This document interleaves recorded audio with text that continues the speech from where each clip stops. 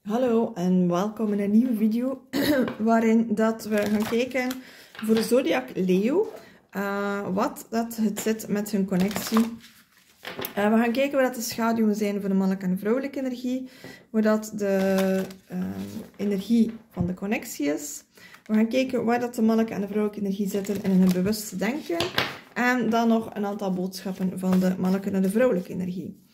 Uh, als jij Leo bent, kijk ook naar het zodiac-teken van je tweelingvlam, als je dat weet. En ook nog misschien, of zelfs nog interessanter, is kijken naar het, um, waar dat de Noordnode staat. In welk teken de Noordnode staat. Want de Noordnode is verbonden met uh, de lessen die je hier te leren hebt als ziel. En dus uh, ook met jouw tweelingvlam-connectie. Want dat is ook een van de lessen die je te leren hebt. Voilà, dat gezegd zijn, dan gaan we er onmiddellijk invliegen. Wat zien we hier? De Lovers Card voor de mannelijke energie als schaduw. En van de vrouwelijke energie zien we manifestatie met attractie. Dus aantrekking. Attractie. aantrekking dus in Nederlands. Maar dan zien we dat eigenlijk dit nog meer en dieper over gaat ik heb het gevoel dat de mannelijke energie eigenlijk wel heel diep deze eenheid en deze relatie wilt, maar dat er nog een aantal dingen zijn in het fysieke, waardoor dat hij denkt dat het onmogelijk is. Terwijl dat de vrouwelijke energie er al veel meer vertrouwen in heeft. En echt actief en bewust bezig is met het uh, leren meester worden van uh, de, hoe dat manifestatie werkt. Niet alleen voor de connectie, maar ook voor andere stukken in haar uh, leven. En dan de extra informatie voor de vrouwelijke energie. Dus je ziet ook bij de mannelijke energie ook de uh, zwaardenkaarten eruit komen. Wat dat ook te maken heeft met gedachten, met element lucht. Dus de mannelijke energie zit echt in... Um, woe, in het stuk rond um, um, het, het is niet volledig, twee, uh, het volledig twijfelen, maar uiteindelijk is er wel succes eigenlijk voorgepland. Allee, voorgepland, voorbestemd, hoe zeg je dat? Dat, dat, is, dat staat in het plan, in het zielsplan. Maar dus de mannelijke energie, langs de ene kant, zoals ik net ook gezegd heb, de, de Lover's Card met Union, wil hij gewoon komen uh, inrushen en zeggen van kom we gaan eraan beginnen en we gaan in die connectie en we gaan samen. Maar tegelijkertijd weet hij eigenlijk niet goed hoe dat hij dan moet aan beginnen. Uh, waarom? Omdat hij het gewoon veel te veel over denkt. Dus hij wil het wel communiceren, maar iets in zijn gedachten, zijn eigen beperkingen, houdt het tegen. En wat zijn de dingen dat er tegen? Alle systemen dat hij kent. Alles wat hij kent over relaties, alles wat hij kent over liefde. Um, werken eigenlijk tegen met wat hij nu ervaart. Want het is echt wel, hij weet wel dat er iets speciaals is, dat het een zielsconnectie is. Misschien heeft hij zelfs al het stuk over tweelingvlammen of tweelingzielen opgezocht, of soulmates opgezocht. Uh, vandaar dat we ook de Cudacius-staf zien. Maar wat, wat, maakt dat hij nog niet komt ingelopen uh, met open hart, open uh, armen en all the, all the way wil gaan, is dus zijn eigen beperkende overtuigingen. En dus daar moet hij eerst uh, doorheen werken. Wat zien we bij de uh, vrouwelijke energie? Dus we zien de doskaart omgekeerd met de Queen of Cups omgekeerd. De magier omgekeerd en de zes van zwaarden. Uh, niet omgekeerd, gewoon dus. Dus we zien hier dus doorheen het proces van leren hoe dat manifestatie werkt en hoe dat deze diepe zielsconnecties werkt, is de vrouwelijke energie er nog niet helemaal. Want anders zou de magie er niet ondersteboven liggen.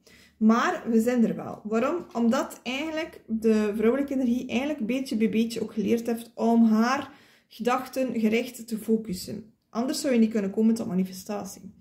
Een van de elementen, en dat is hetgeen wat ik ook bespreek in de cursus um, rond manifesteren met alle elementen, is hoe dat je gedachten op een positieve en constructieve manier gebruikt en niet tegen. Waar dat vroeger, en daarom zijn we ook de doodskaart, waar dat vroeger um, deze vrouwelijke energie eigenlijk zich veel te veel heeft laten leiden door de emoties, maar de verkeerde emoties. Um, en wat ook aan herinnerd word, is het werken met affirmaties. Affirmaties, dat is eigenlijk het, een combinatie van het uh, luchtelement en waterelement.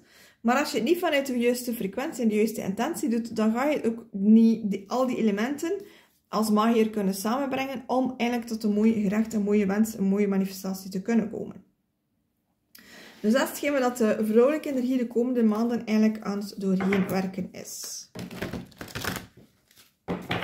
Wat is de energie van deze connectie? Van de leeuw. Hopla, deze. Dan hebben we de maan, ja. Dus allebei zitten zo wat, in hun feels, hè, zo in hun emoties. Ze zien de weg nog niet goed vooruit. Maar waarom? Omdat eigenlijk ook nog niet bedoeld is om helemaal de weg vooruit te zien. Het is de bedoeling dat er geluisterd wordt naar hun eigen leiding, dat ze elk hun eigen proces doen. En van daaruit gaat iedere keer stap voor stap wat duidelijk worden. Want wat zien we? We hebben de Five of Flames en de Five van Challenges. Zowel beide zijn eigenlijk een stukje uitgeput van een leven te leiden die niet volledig in afstemming is. Maar tegelijkertijd zitten ze te treuren om de dingen die, die ja, dat ze weten dat ze gaan verliezen. Dat ze weten dat ze gaan moeten opgeven om te kunnen komen tot die diepe zielsconnectie. Dus het kan zijn dat er, dat er nog andere partijen betrokken zijn. Dus dat er nog, uh, dat zowel mannelijke en of vrouwelijke energie nog in een andere relatie zit. En ook daar is eigenlijk de oplossing om gewoon te focussen op jezelf. Wetende dat hoe meer dat je jezelf wordt, hoe meer dat je in je authentieke energie komt en stapt en van daaruit je leven vormgeeft, dat die relaties, die opportuniteiten, die kansen, zich, uh, die volledig afgestemd zijn op jouw authentieke energie, dat die zich gaan aan jou tonen. En dan ga je niet met het gevoel hebben dat je uh, uitgeput bent door jouw eigen vuur, door je eigen passie. Maar je, jouw vuur gaat um, jouw, emoties gaan voeden op een positieve manier, waardoor hij niet meer, zoals je hier kan zien, overweldigd wordt en misschien gewoon helemaal overstroomd wordt door het water, maar dat je het op een goede manier uh, jou gaat gaan voeden. Wat is er gaande op bewust niveau voor de mannelijke energie? Dus dat wil zeggen, wat is de mannelijke energie in deze connectie op een bewust niveau aan het denken? Dat zijn de tien van bekers. Dus de, de mannelijke energie is op dit moment bewust aan het denken van, maar wat is het nu allemaal dat mij vervult? Wat maakt dat ik mij zo uitgebrand en uitgeput voel in dit leven? Waarom ben ik niet uh, blij met de dingen die ik nu al heb? Waarom wil ik niet veranderen? Bijvoorbeeld als ze in een huwelijk zitten, dat ze zeggen, maar allee, uh, iedereen zegt van, je, je, hebt, je, toch, je bent toch getrouwd en jullie zien er toch gelukkig uit. En toch voel ik mij niet gelukkig. Toch voel ik dat er iets anders voor me weggelegd is. En dat kan, hè. En dan zien we ook nog de 9 van bekers, maar omgekeerd. Wacht, is dat 1? Ja. En de, um, de prinses ook van bekers. Dus je ziet, deze mannelijke energie zit echt, echt, echt in zijn emoties. Want we krijgen alleen maar emoties. Dus op een bewust niveau, dus in zijn gedachten, in zijn bewustzijn, is hij echt aan het nadenken van, maar oké, wat is het dat mij geluk brengt?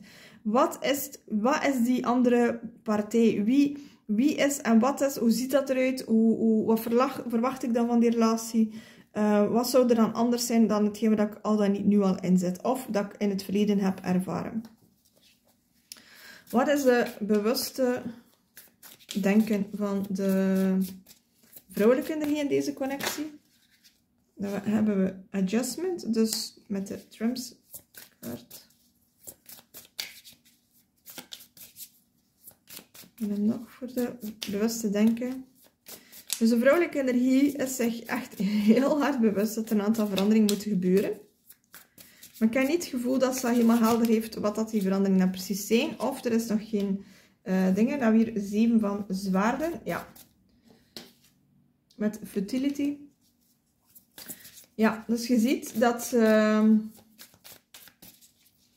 echt bezig is op een bewust niveau haar gedachten te ordenen, zodanig dat ze in lijn zijn met haar emoties. Waar ze vroeger alleen maar vanuit haar emoties keuzes maakte, probeert ze nu um, alle elementen samen te brengen. Maar dat lukt haar nog niet. Maar dat ik wel het gevoel heb tegen de nieuwe maan. Uh, dus het is nu overlaatst een donkere maan geweest. Dus binnen nu en twee weken. Dus uh, laten we zeggen half, half, half uh, februari ergens dat er voor deze vrouwelijke energie wel wat meer helderheid gaat komen. Wat zijn er nog? nog iets aan moeten weten voor deze vrouw? Nee. Dus dat is het belangrijkste voor de vrouwelijke energie en het uh, denken. Dat zij, um, ze weet dus dat er veranderingen moeten gebeuren. Welke veranderingen en hoe, dat gaat allemaal stap voor stap uh, naar, naar boven komen. En dat is hetgeen dat we ook moeten leren en mogen leren. Dat we niet het ganse pad moeten weten, maar dat we gewoon stap voor stap mogen en moeten eigenlijk gaan. Wat zijn dan de boodschappen voor de mannelijke energie en de vrouwelijke energie?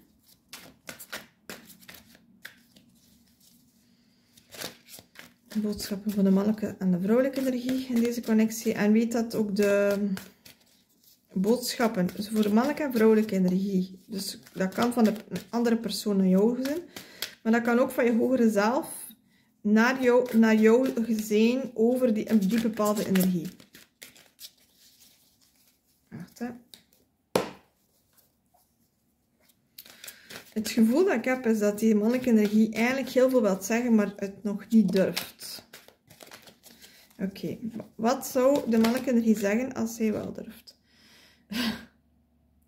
Hier, dus deze mannelijke energie twijfelt. En dat zal ook wel erin zijn waarom ze niet onmiddellijk honderdduizend boodschappen geven. Dus deze mannelijke energie twijfelt of dat hij wel alles in zich heeft om uh, de partner te zijn dat je verdient. Als de vrouwelijke energie dan, hè. Wat is nog dat hij wilt zeggen als hij durft? Ja. Wij komen in juni, maar het ligt ondersteboven. Dus hij, diep van binnen voelt hij het wel, maar dat had net ook al gezien. Maar, maar, um, hij twijfelt nog. We hebben nog. Ik zal je contacteren wanneer ik uh, kan. Nu is mijn leven veel te gecompliceerd om jou te geven wat... Um, om jou in mijn leven te brengen. Maar weten dat ik wel met jou wil spreken. Dat is exact wat ik daarnet gezegd heb. Nog een boodschap. Is er nog een boodschap van deze mannelijke energie? Nu dat hij de kans heeft. Wat er nog zijn, soms lijkt het alsof ik dat, dat ik tot jou spreek in mijn hoofd. Soms triggert het mij omdat ik uh, mij afvraag hoeveel dat jij van mij kan zien. Dus hoeveel dat hij uh, wat dat je kan zien. En dat is wat ik ook uh, al gezegd heb van... Het maakt niet uit welke copingmechanismen dat we hebben. Het maakt niet uit welke dingen of welke identiteit dat we willen ons voordoen. een echte tweelingvlam, die kijkt daar gewoon doorheen. En wat is de boodschap van de vrouwelijke energie? Die is al iets spraakzamer, al iets opener. Of laten we zeggen dat ze al meer vertrouwen heeft in de communicatie met haar um, mannelijke energie. Dat zal misschien ook wel het leeuw-element zijn, dus het vuurelement uh, van de vrouwelijke energie. Oké. Als er kaarten zo flippen en dan terugkeren, dan vraag ik altijd of dat ik die moet nemen of niet. Wat wil de vrouwelijke energie nog zijn?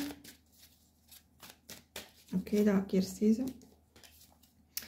Onze yin-energie uh, heeft zuivering nodig. Herhaal dit elf keer met uh, trage, diepe ademen. Uh, het spijt me, alsjeblieft vergeef me, I love you and I'm grateful for you.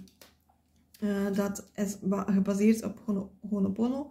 En dan de liefde van ons, of de liefde als zoals die van ons, kan de wereld veranderen.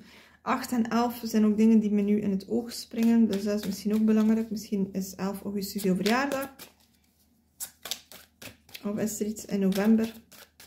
Of is de 11ste van een andere maand belangrijk? We hebben ook nog weer een 11. Onze liefde is eeuwig. Het, uh, bestaat in elke, in, elke dimensie en kan niet verloren gaan. Voilà, en dan voel ik dat dat het is voor de vrouwelijke energie. En dan gaan we nog kijken welke energie dat is dat uh, met van de universele vlam, waar je in deze connectie mee kan samenwerken. Wat is de universele energie? van de universele vlammen. Dat gunstig is en helend is voor deze connectie. Oké, en dat is de diamantenvlam. Dus de diamantenvlam kan je aanroepen. Het is ook verbonden met mirakels en aartsengel Metatron. Dus je kan ook gewoon aartsengel Metatron aanroepen als je niet onmiddellijk... En dan zien we ook aan de andere kant weer de diamantenvlam. Um, dus dit is uh, de energie die helend is voor jullie connectie voor de komende uh, maanden. Uh, als je wilt meer weten over hoe je met de universele energie, dus de universele vlammen, kan samenwerken. Ik heb een 9 weken programma gemaakt en gecreëerd waarin je verschillende transmissies ontvangt met de vlammen, waarin dat je heel veel werkt rond je eigen healing. Het voordeel daarvan is, is dat je eigenlijk geen externe coach of healer nodig hebt. je hebt ook alles in jou om jouw healing en jouw proces in eigen handen te nemen.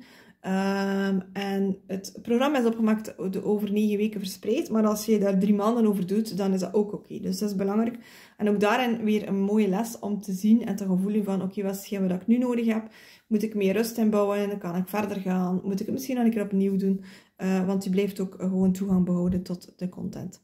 Uh, je kan mij ook vragen stellen rond uh, de content via mail. Dus ik ben ook beschikbaar als er vragen zijn of onduidelijkheden zijn. Uh, maar dat is, werken met de vlammen, zeker als je een tweelingvlam bent, is eigenlijk een superkrachtige tool. Een heel efficiënte tool. Je kan het voor jezelf gebruiken, voor je manifestaties gebruiken, voor je connectie gebruiken.